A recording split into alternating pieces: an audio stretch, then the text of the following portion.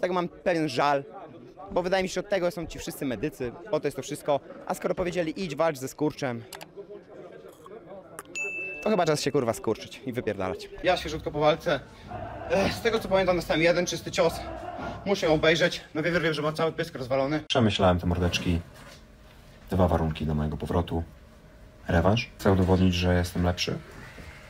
I wyjebać sędziów odpowiedzialnych za to, że powiedziałem, że mam skurcz i zamiast rozmasować mi to powinni medycy, to powiedzieli, że mam walczyć ze skurczem.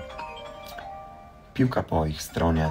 Nie chcę powiedzieć, że wygrałem tą walkę, bo jak sobie ją obejrzałem raz tak na szybko, to mówię, kurwa, w sumie to ja tak krążyłem wokół niego, no ale jak się stało, kurwa, był ośledzony, ale ja- jakby nie był obsrany, to by mnie zaatakował, ja z tym skurczem musiałbym się kłaść na ziemię. Dla mnie największy wstyd to, co się stało, kurwa, z Krychą i, nie, i Krycha broni swojej twarzy, nie?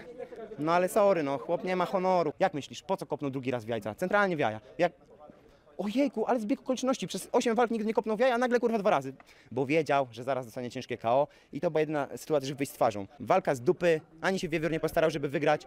Rozjebany łeb ma. Przegrałem ja. Ludzie i tak są teraz, brawo, pośledzony Kipunek wygrał, więc, więc będą być brawo. Czy faktycznie wygrał?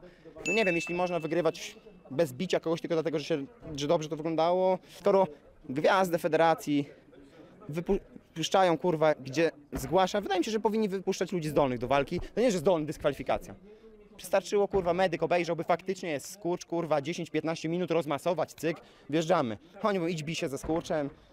Także czas zająć się, kurwa, jakimiś projektami i tak dalej. Niech se radzą. Skoro tak, kurwa, wypu- wypuszczają mnie ze skurczem, to spoko.